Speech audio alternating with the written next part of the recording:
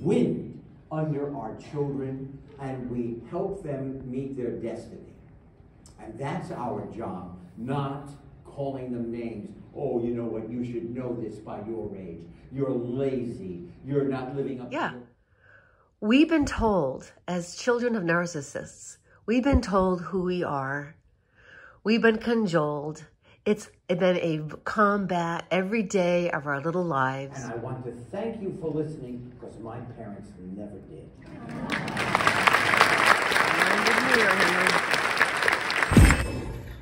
that my childhood was so misinformed and I had to recreate that hell in order to sink to the very bottom.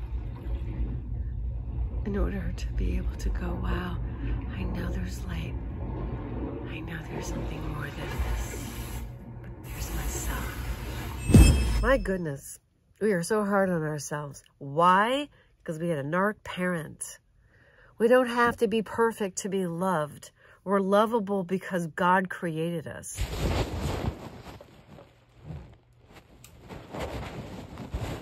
Figure out who you are and then, like, be that person. Figure out who you are and fully be that person.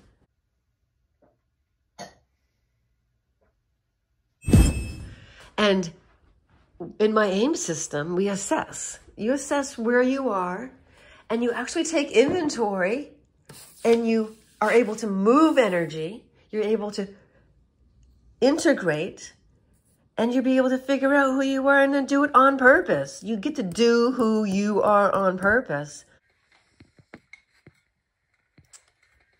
Growing up, you were highly criticized just for being yourself. Growing up, you were highly criticized just for being yourself. And now, as an adult, you walk around with a deep fear of getting things wrong.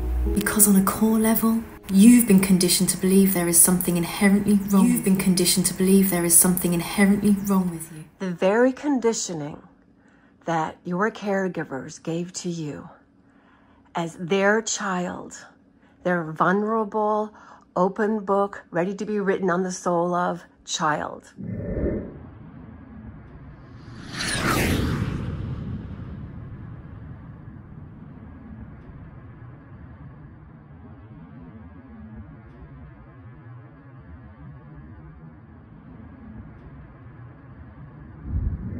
Recovering who you are because the narcissist is always trying to get you to cover that person up. They're so intimidated and we don't get it because we're always trying to be better and we're always trying to improve. And I am just now putting myself back together again.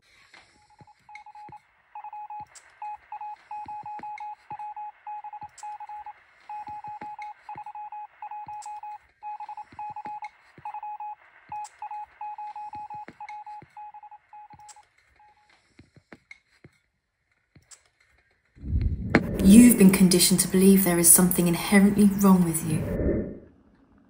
And it is precisely that kind of conditioning, the conditioning that makes the child of narcissistic parents believe that in their inherent flaw makes them especially susceptible to narcissistic partners, pathological partners.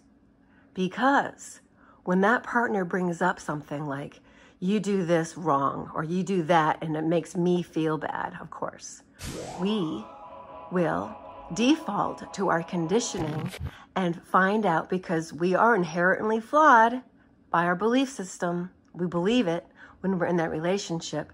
We will do whatever it takes to make that narcissist happy again. Well, that's how it, the first cut happens. And then it's eventually death by a thousand cuts. And you will lose who you are in that relationship. And you will be a shadow of yourself, an empty shell, just scooped out and eaten by the insatiable narcissist's need to feed off of you. This is a monologue by yours truly, your favorite narc abuse escapee on the internet. Now, the inner resilience and the uh, inner fortitude you build up is uh, done through sheer willpower. It's also a byproduct of having gone through hell and keep keeping going right on out of hell. When you're living with a narcissist, it's hard enough. Nobody sees what that person really does to you. They all see the good guy and they think that something is wrong with you because this narcissist has actually been doing what is known as triangulation as well as smear cam campaigning. Triangulation is when there are three people that know each other, but the narcissist stays at the top of the pyramid here. He tells me one thing, he tells this person another thing, and then it might be that the narcissist tells the neighbor that I am driving him crazy. And then the neighbor starts treating me like I'm doing something bad to her favorite neighbor. And then that is triangulation. And I'm like, hmm, Michelle's acting rather strange. I don't know what's going on with her. And then he will have said to her that I'm doing something terrible. This is when I lived in Virginia. And then she will treat me badly and, and I will be like, gosh, she's acting kind of standoffish and aloof. I thought we were friends. And in the meantime, he will then say something to her that I said about her. And then she becomes what's known as a flying monkey. A flying monkey is a dupe that does the narcissist's bidding. Unbeknownst to them, they're being played too. But they're not the ones getting hurt. The victim of the narcissist is. Now that I have fully recovered, actually, for the most part, I have, I am a narc abuse escapee. But I will tell you, you recover from the relationship and then I, I discovered the source was my mother. In 2022, I had a partial ego, ego death. I had a breakdown and you're exhausted and tired because you spent your entire, I spent an entire decade of my life uh, fighting for my life with a narcissist in my life without realizing that all of it was what it was because your brain does go into the uh, survival mode so you can only deal with what is right in front of you. And you actually do get some brain damage. I have that you can repair. Of course, I didn't have the language for it yet. I didn't know exactly what happened. And as um, it, things turned out, I had to find the biggest, baddest, worst daddy of all, which was that last narcissist that brought me to the very bottom pit of despair. I had to get so low, apparently, that I had no other choice but to discover that the source of my issues were from the extreme narcissistic abuse I had as a child. And I became lethargic and you actually experience a certain amount of self-loathing and self-hatred because the parts of you that are loving and wonderful and talented and terrific are overlooked first by the parent and then by the partners. So the inner resilience comes from just sticking it out, hoping one day it will get better. And for me, it got better the day I left, but then that's when the work began, the true inner work. If they're if they really just don't value you, if they really take you for granted, if they talk over you, if they poo-poo you, if they really think everything that you do is dumb and they mock you, that's the garden variety. But the kind I had are the kind that your body actually starts breaking down and you start getting sick and you live in a, an environment in which somebody is willfully throwing anger darts at you, it has an effect on the physical body. If you look into the work of Dr. Masaru Emoto, uh, The Hidden Messages in Water, it is shown that if you love the water, the crystals made from it are perfect snowflakes. And if you send the water anger, it will be fragmented and broken. Inner resilience, inner fortitude, commenters on YouTube. I got a commenter that blamed me for triangulation. I listened to the video. There was absolutely no triangulation at all. So what you look out for when you are a vulnerable, freshly escaped from narcissistic abuse, narc abuse escapee, is for people to use these buzzwords against you. Never try to convince somebody who's never had that difficulty that you have had about what you've experienced. It'll talk your power away. It's a way of depleting your own inner power by explaining yourself to people. I moved to Virginia and the man lied about everything, including the, the fact that I gave him $20,000 by way of paying off credit cards so we could buy a house together because he love bombed me when I met him and we were going to buy a house together. He bought the house.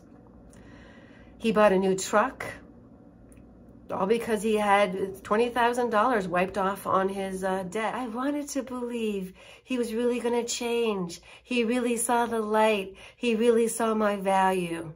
No, no, that's future faking.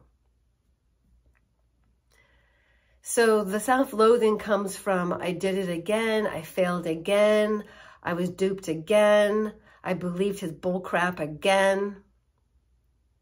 Why did I? But you got to look at the upside. I exercised the ability to love. I, ex I, I demonstrated the ability to forgive. I demonstrated the ability to wipe the slate clean and start afresh and new. To see, oh, maybe there is something there for us. And then I thought, oh, we had a garden together, which I loved. And again, narcissists aren't always these awful people. They can be these fun people. But that fun person becomes a smaller and smaller percentage of the time you experience them. The love bombing stage, they keep it up. And then as soon as they ensnare you, and you're just so engulfed with your dopamine and your uh, ox orgasm drug, you know, the, the big O. Oh, oh boy, that you uh, are blind. This love is blind. Oxytocin, whatever it is that makes you feel really good. Ah. So after being degraded by the narcissist to my face, after having flying monkeys uh, actually sneer at me, call me a bitch, call me a bitch, and having people who I didn't know constantly drunk and sleeping over the house, having no ability to have firm boundaries with the NARC partner, almost losing my health, almost losing my life, losing my brain capacity from head trauma. I have a lot of inner fortitude. I've been through hell. I kept on going. And now I'm not in hell anymore. I'm so sure of myself and who I am. The ability to communicate, uh, I, I've developed relationships where people listen to you. Wow, imagine that. I'm having emotions of all kinds, which is energy and motion. Our emotions, including anger, when it's justifiable anger, when it's righteous anger, when it's Jesus anger, it's powerful. My friends, Do you want to know what the opposite of love is? It's not hate, it's indifference. And not knowing what a female narcissist is other than my own mother, I really don't know how to tell you about them. I hadn't mastered the full knowing of why I was such a vulnerable target to narcissist because I hadn't realized it was with my mother. And of course, I had to sink to the very bottom and I had to go through the biggest war of my life. And so after you do that, I'm akin to an Olympic athlete.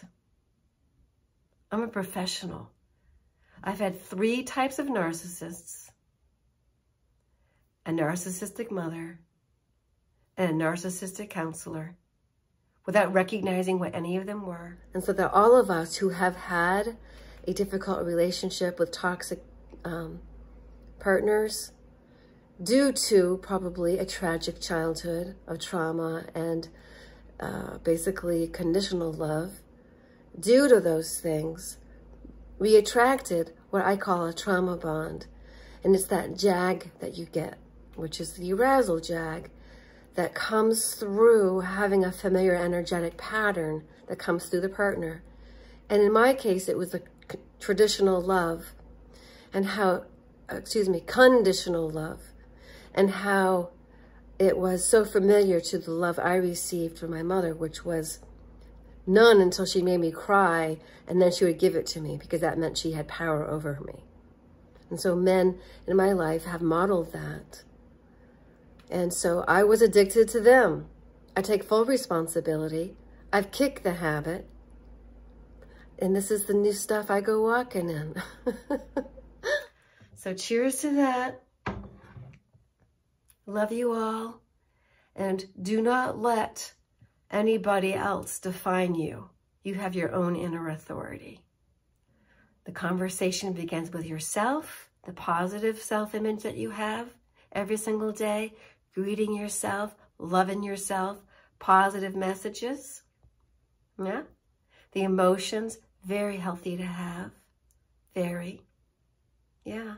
Have those emotions self-acceptance and self-love, you got to cultivate those. And learning that you don't have to answer to anybody and your own inner authority is good enough. So when you're piecing yourself back together again, when you're really looking into yourself, you're going to learn about your inner authority because your inner authority was always degraded by your birth parents you only had an outer authority because the inner authority was never developed.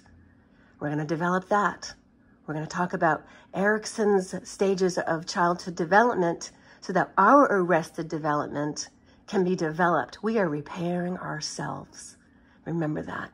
And you become ever more beautiful in the art of spiritual kintsugi, the art of self-repair, picking up the pieces of your dashed dreams and shattered life, you, my friend, are a superpower because you are a narc abuse escapee.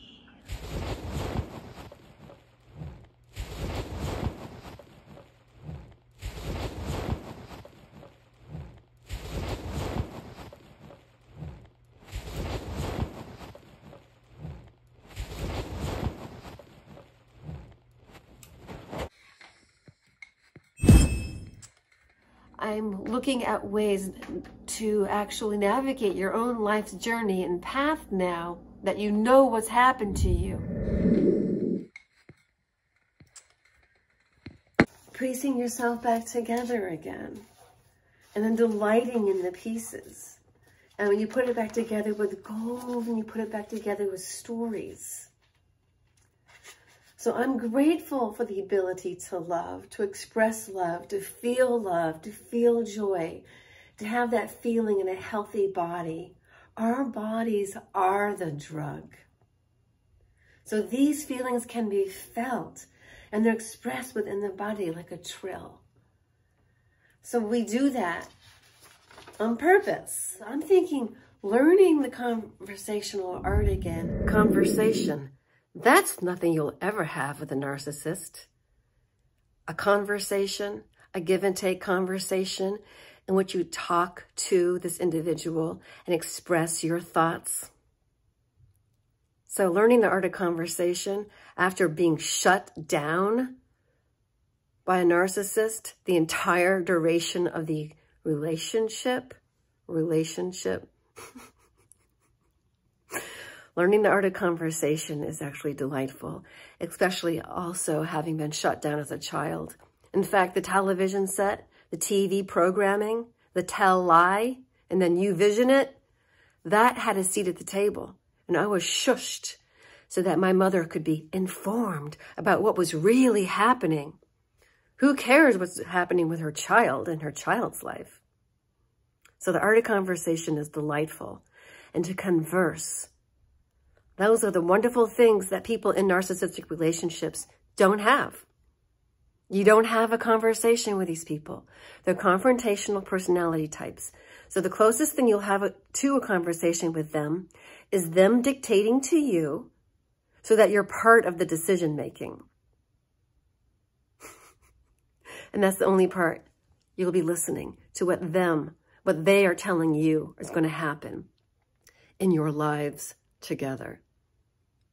That's why flying solo is so wonderful. It's a loving opportunity to really love yourself, to pick up the pieces of who you really are, those pieces that were lost in your childhood, because this is specifically to, to those individuals such as myself who actually lived through childhood hell.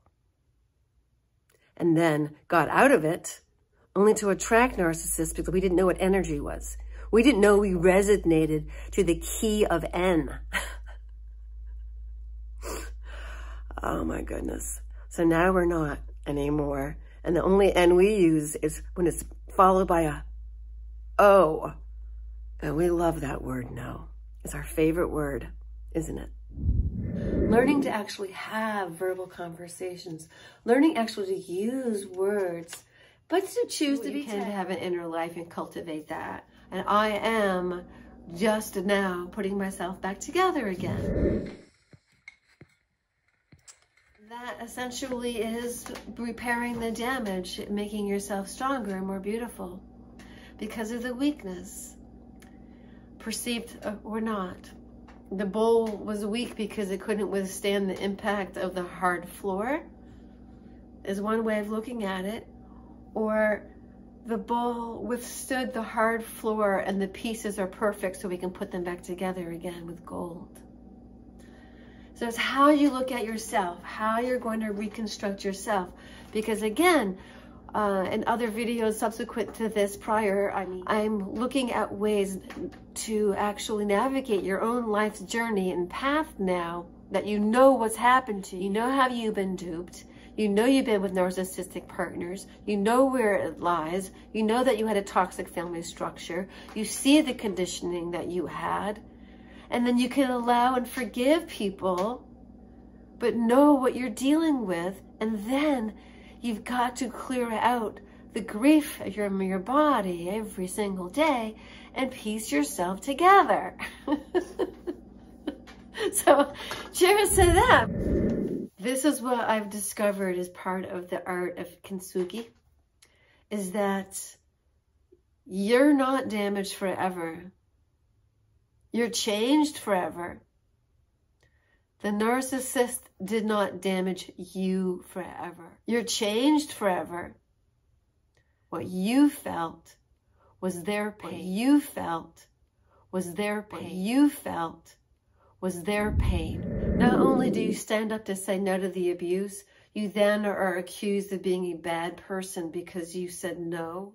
And what's wrong with me for leaving this relationship. It wasn't so bad. It didn't matter that they didn't listen to you. It didn't matter that they criticized you because they didn't feel loved enough by you.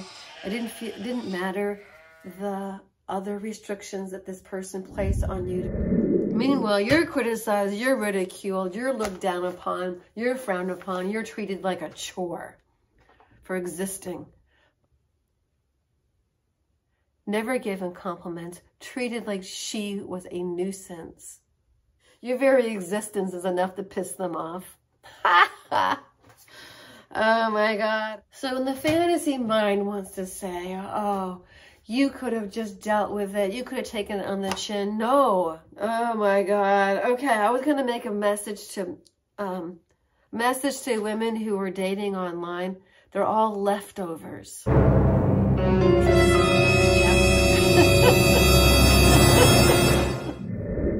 my videos aren't always planned out.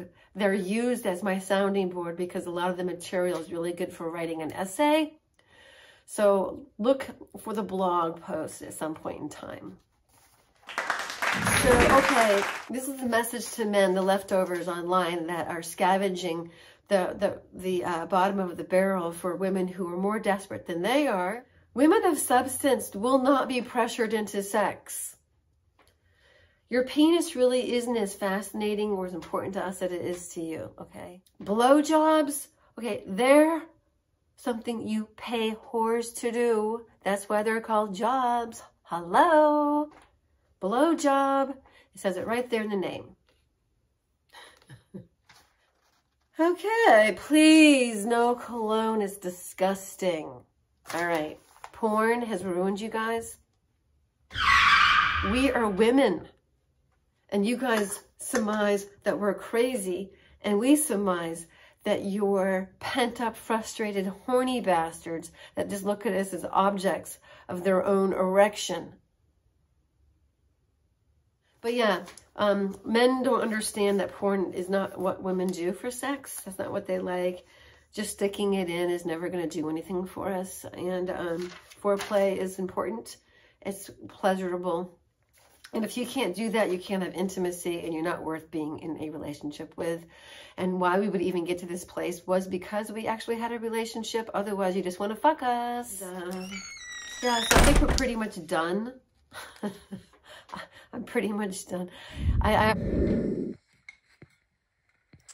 You, the narc abuse escapee, steps into the glory of your God-given life and you become ever more beautiful in the art of spiritual kintsugi, the art of self-repair, picking up the pieces of your dashed dreams and shattered life. You, my friend, are a superpower because you are a narc abuse escapee. Hell hath no fury like a narcissist scorned. And remember, in the art of kintsugi, narcs are damaged goods forever. But you, my friend, are not. Your very existence is enough to piss them off. Ha ha! oh my God.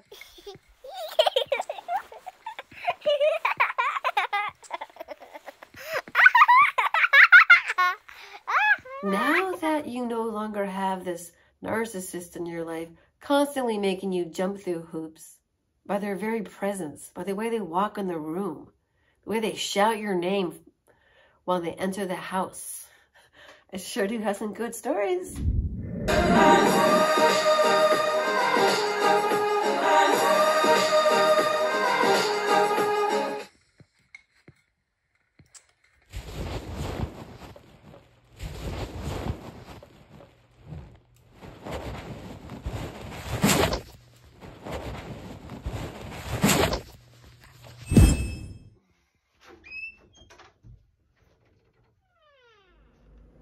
Bottom line, I'm living a different life now. I'm aligning myself to a different set of stars. And just because I don't have that partner does not mean a life is not worth living. In fact, oftentimes a partnership can slow down that person's life. And so I must surrender to a power greater than mine, just like the people in AA. I surrender my power to what my true blueprint is and was intended before, yes, it was derailed by a narcissistic partner.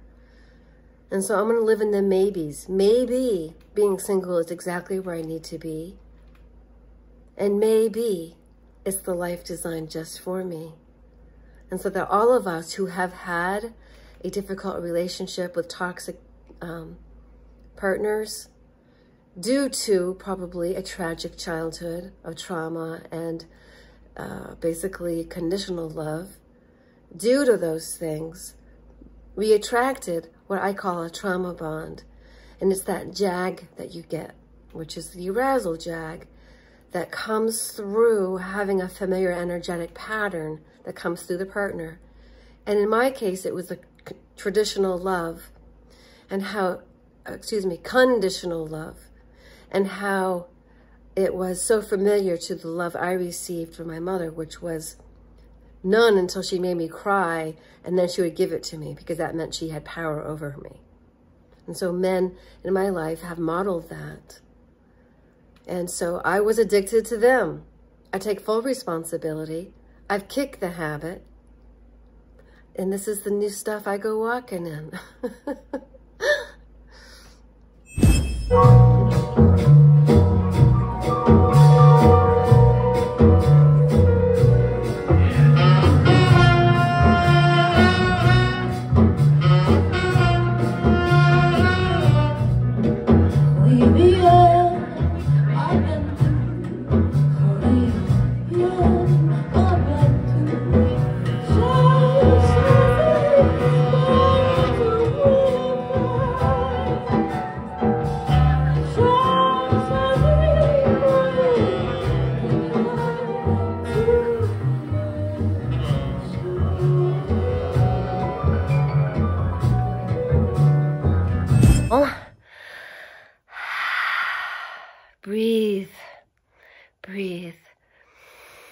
Enjoy this God given gift we have called life.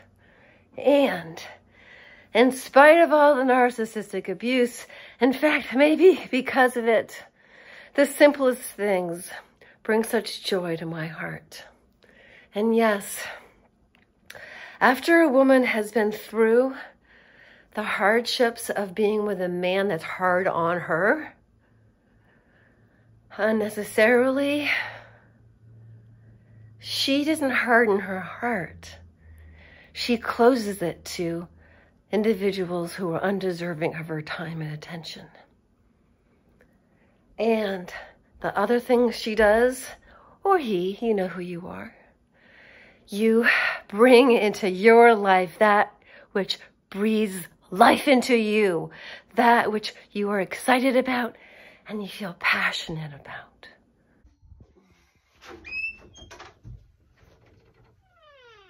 Peace and love to you all.